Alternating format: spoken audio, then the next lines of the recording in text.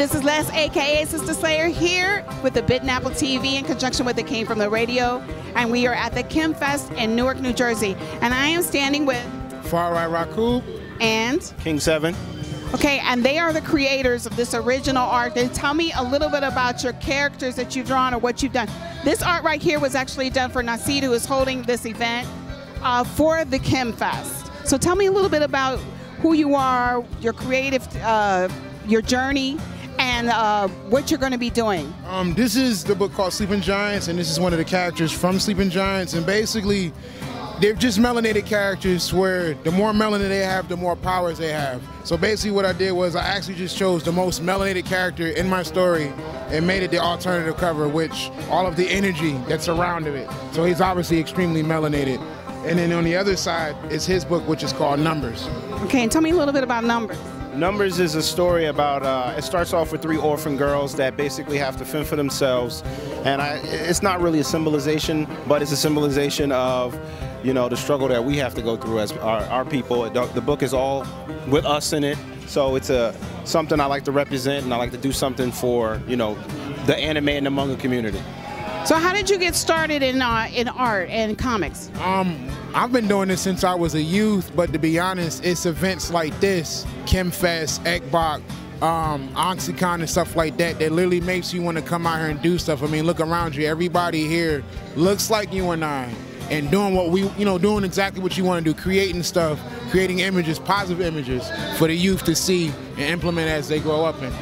What made you come up with a character that is uh, has superpowers related to his melanin? Um, to believe it or not, reading a lot about religion. It seemed like the more and more I got into religion, the more I found that melanated people were his chosen people.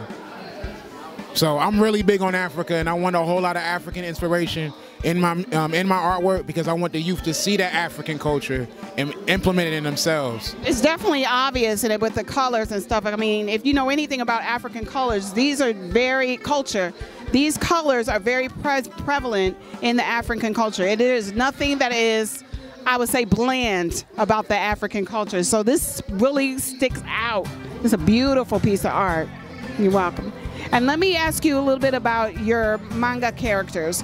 So one of the things that we know that this is basically uh, uh, Japanese manga characters or something you always see a manga and anime.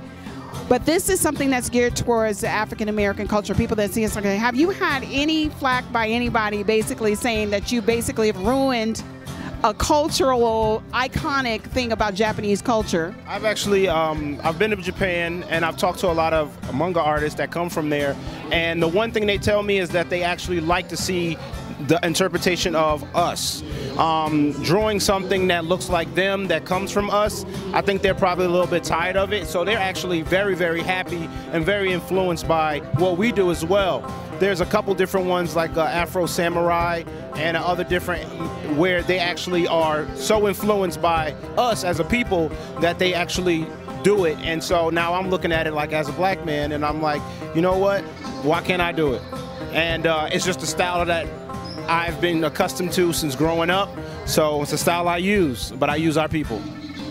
It's beautiful too. It's a beautiful piece of artwork, and it's just like I could definitely see this in a cartoon. I can actually see this on Crunchyroll or anything like that. so what else is you're getting ready to show us? What else do you have? Some, um, some of the individual characters of the actual story. So tell us about Thank Ichi. you. So Ichi is a character. She's the uh, oldest of this story, and she is, like I said, responsible. She's the one that's taking responsibility of the other two uh, orphan. And ni, actually, this is you're counting in Japanese. Like Ichi ni. Which that goes to the whole numbers uh, thing, and uh, you know, but you know, another girl also, another orphan that basically has to uh, fend for herself. She's taking the experience of being an orphan and uh, and you and basically reflecting anger towards that. So um, she's dealing with her pain through anger.